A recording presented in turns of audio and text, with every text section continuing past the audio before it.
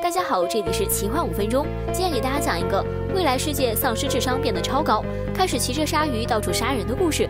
故事开始在天空上，一艘客机正在正常行驶，前方突然出现了十几条机械鲨鱼，鲨鱼的背上还有穿着军装的纳粹士兵。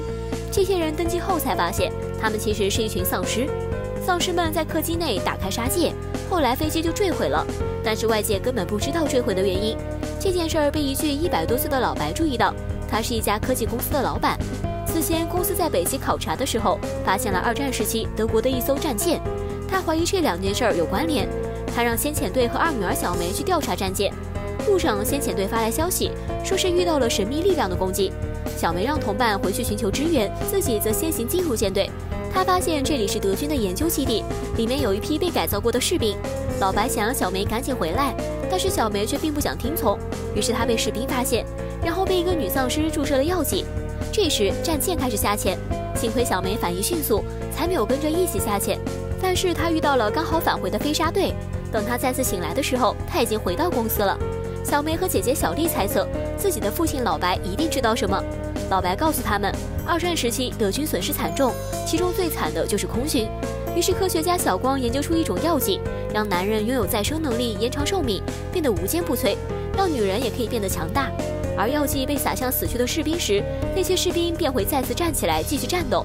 他还研究出了机械鲨鱼，在鲨鱼的身上配了喷气式设备和机关枪，给士兵当坐骑。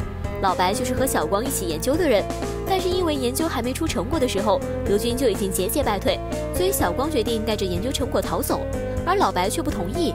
他被小光打了一枪，为了活下去，老白给自己注射了药剂。之后他就来到了美国，在这里组建了家庭。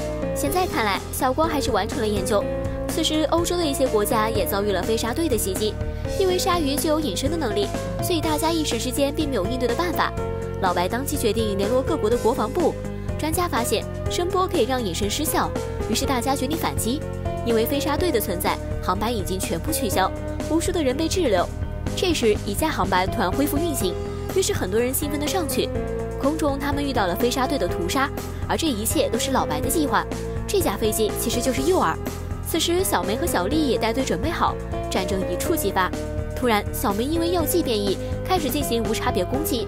但好在出发前，老白就已经将解药交给小丽，于是小梅恢复了清醒。外面飞沙队仍在继续攻击。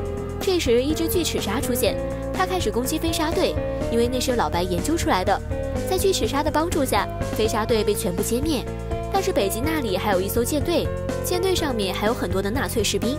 今天的电影就分享到这里，记得点赞和关注，下期精彩继续。